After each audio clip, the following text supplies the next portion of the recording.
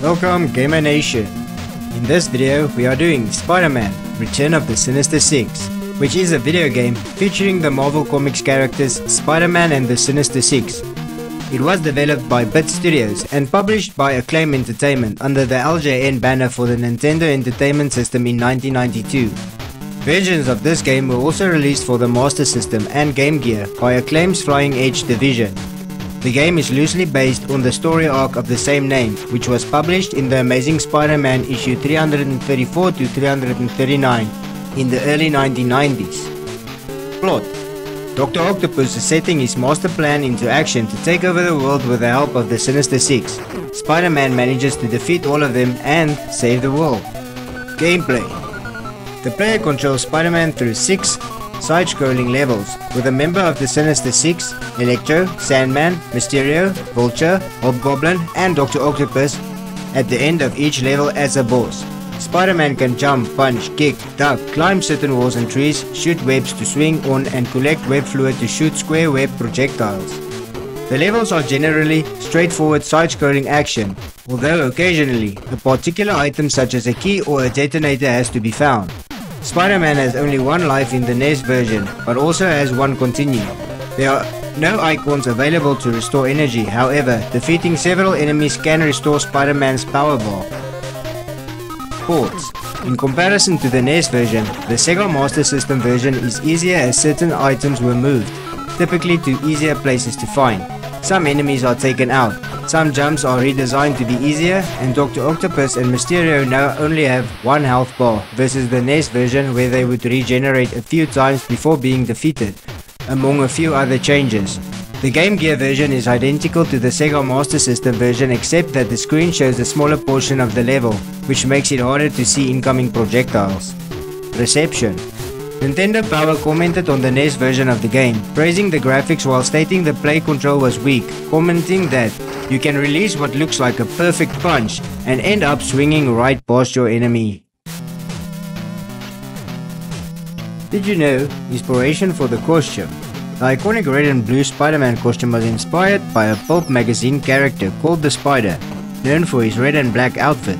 Steve Ditko, Spider-Man's co-creator, altered the colors to red and blue to make the character more heroic and appealing.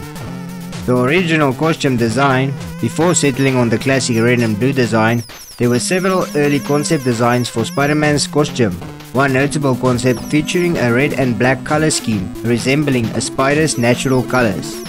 First appearance of the web shooters.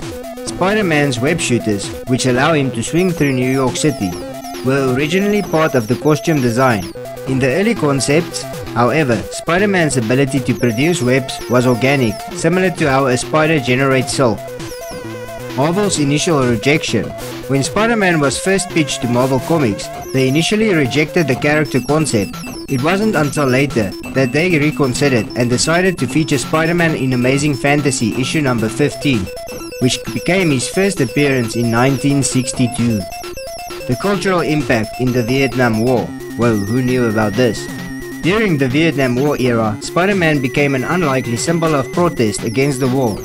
In The Amazing Spider-Man issue 96 to 98, published in 1971, Spider-Man takes a stand against drug abuse, indirectly addressing social issues prevalent at the time.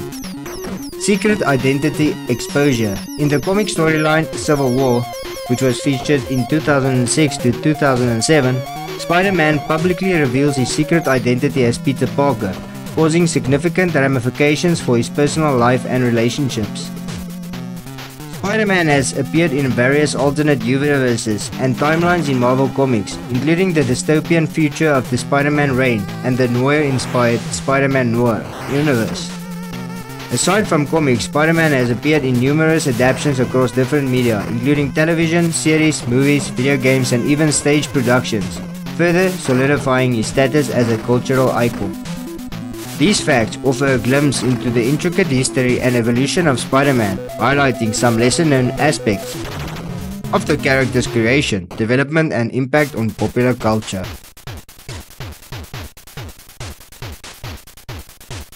The original Spider-Man game for the Nintendo Entertainment System, also known as NES, released in 1990, was generally well received critically but information on its financial success is somewhat limited.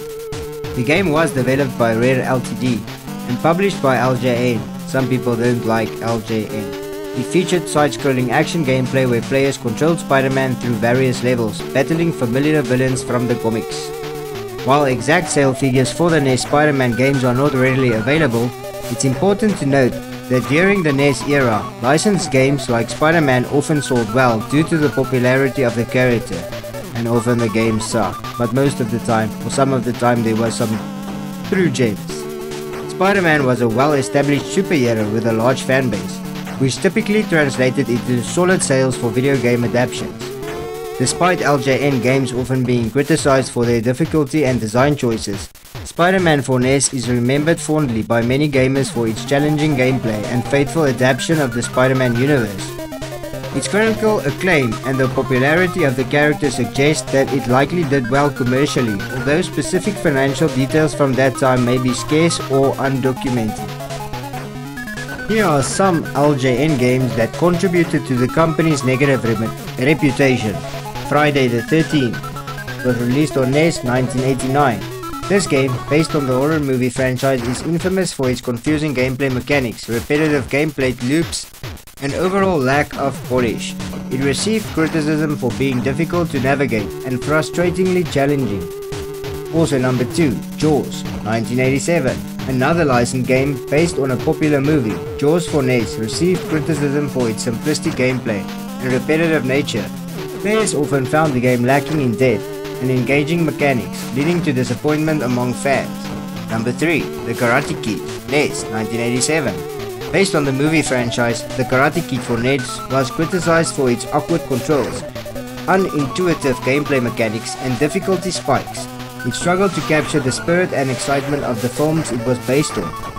And let's do the last one, number 4, Back to the Future, 1989, adapted from the popular movie series.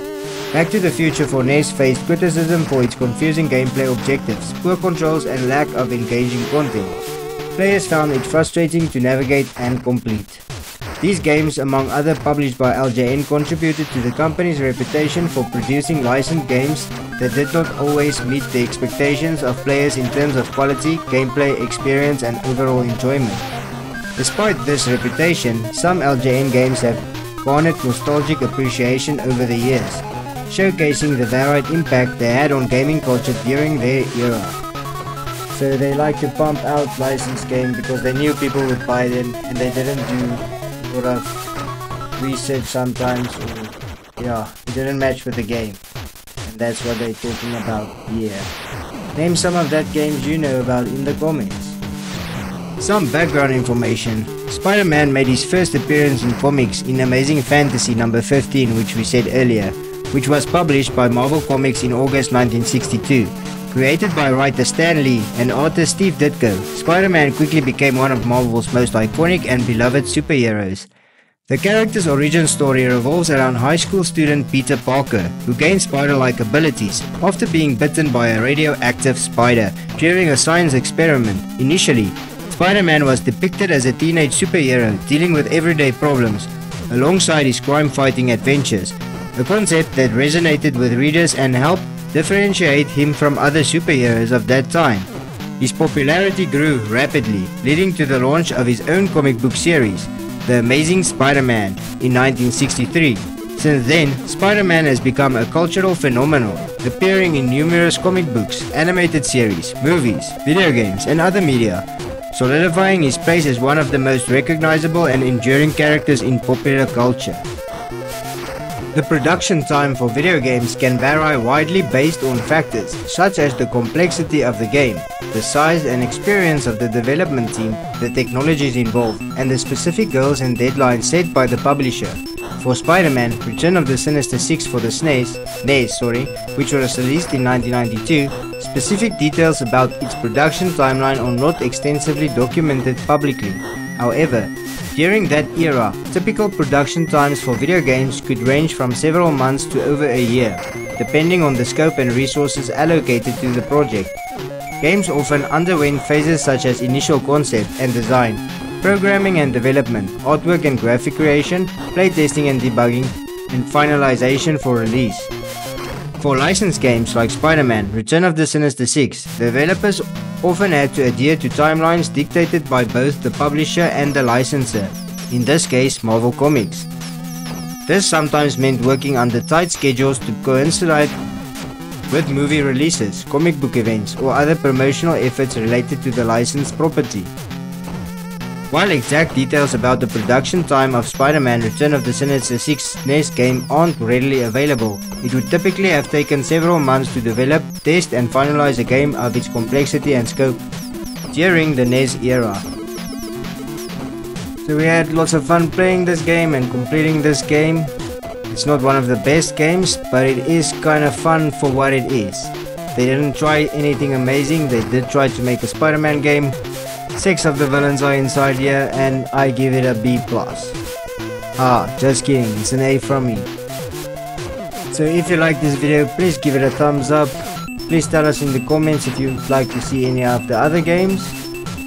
And subscribe for more retro gaming content. Also remember to always be happy gaming. And I hope you enjoy the Spider-Man tune for the rest of the game.